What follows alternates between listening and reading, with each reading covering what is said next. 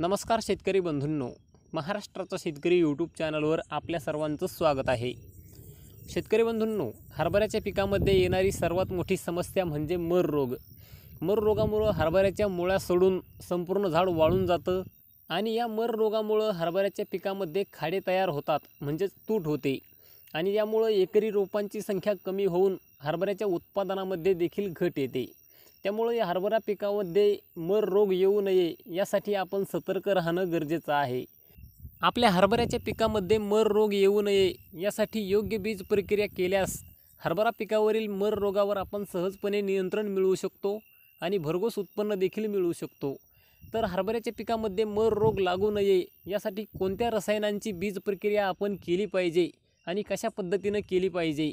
याबद्दलची संपूर्ण माहिती आज आपण या व्हिडिओमध्ये बघणार आहोत. त्यामुळं व्हिडिओला कुठेही स्किप करू नका आणि व्हिडिओ शेवटपर्यंत नक्की बघा. तर शेतकरी बंधूंनो हरभऱ्याच्या पिकाला मर रोग लागू नये यासाठी दोन पद्धतीनं बीज प्रक्रिया आपल्याला करता येते. एक म्हणजे जैविक बीज प्रक्रिया आणि दुसरी म्हणजे रासायनिक बीज प्रक्रिया. तर शेतकरी बंधूंनो जैविक बीज प्रक्रियेमध्ये आपण ट्रायकोडर्मा प्रति किलो बियाण्याला पाच ग्रॅम या पद्धतीनं बीज प्रक्रिया करू शकतो. ट्रायकोडर्मा ही एक मित्र बुरशी आहे.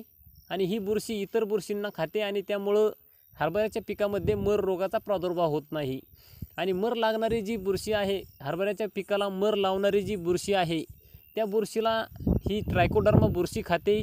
तसेच इतरही जमिनीमधील ज्या उपद्रवी बुरशी आहेत आणि पिकाला घातक अशा बुरशी आहेत या बुरशींना खाण्याचं कामसुद्धा ट्रायकोडर्मा ही बुरशी करत असते.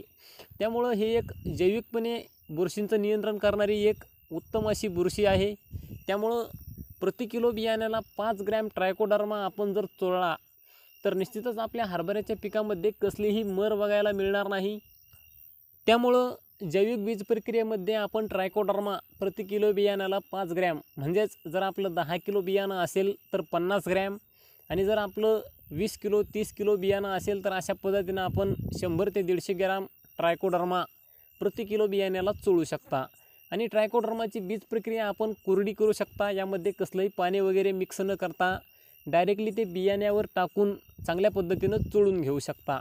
आणि ट्रायकोडर्माच्या बीज प्रक्रियेसोबत आपण पी एस बी आणि रायझोबियमची सुद्धा बीज प्रक्रिया करू शकता. रायझोबियम जीवाणू हे हवेतील नत्र शोषून घेण्याचं काम करतात आणि त्यामुळं हरभऱ्याच्या पिकाला नत्राची कमतरता भासत नाही.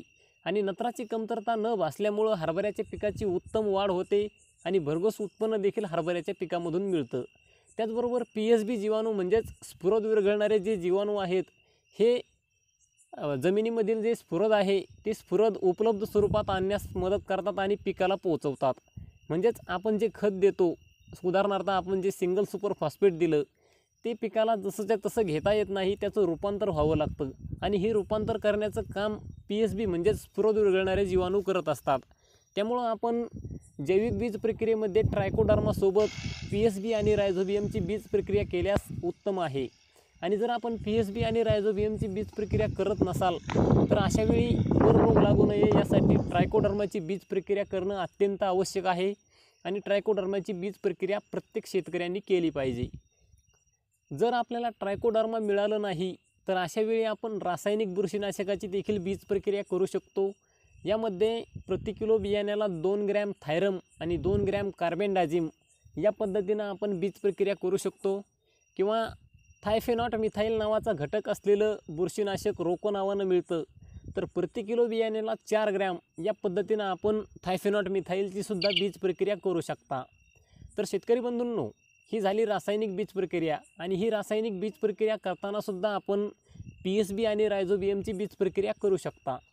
तर शेतकरी बंधूंनो अशा पद्धतीनं जर आपण बीज प्रक्रिया केली जैविकमध्ये ट्रायकोडार्मा आणि रासायनिकमध्ये थायरम का प्लस कार्बेंडाझिम किंवा मग थायफेनॉट मिथाईल अशा पद्धतीनं बीज प्रक्रिया केल्यास हरभऱ्याच्या पिकामधील मर रोगावर आपण सहजपणे नियंत्रण मिळवू शकतो. आणि शेतकरी बंधूंनो ही मर जमिनीच्या प्रकारानुसार कमी जास्त आढळते. काही शेतामध्ये ज्या चुनखडीयुक्त चोपण अशा जमिनी आहेत किंवा पाणी धरून ठेवणाऱ्या ज्या जमिनी आहेत या जमिनीमध्ये मर रोगाचा प्रादुर्भाव मोठ्या प्रमाणावर आढळतो. अगदी बीज प्रक्रिया केल्यानंतरही हरभऱ्याच्या पिकामध्ये मर आढळते. आणि काही जमिनी अशा असतात ज्यामध्ये बीज प्रक्रिया न करतासुद्धा हरभऱ्याची पेरणी केली तरीसुद्धा मर रोगाचा प्रादुर्भाव कमी प्रमाणात होतो.